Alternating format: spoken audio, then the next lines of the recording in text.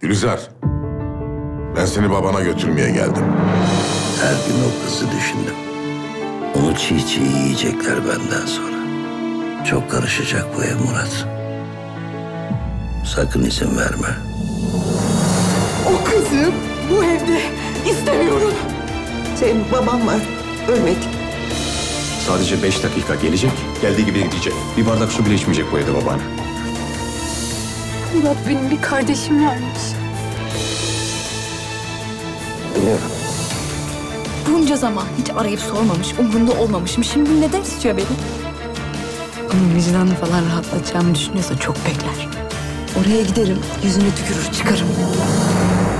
Çağan Irmak'tan Gülizar. Cumartesi akşamı Kanal D'de başlıyor.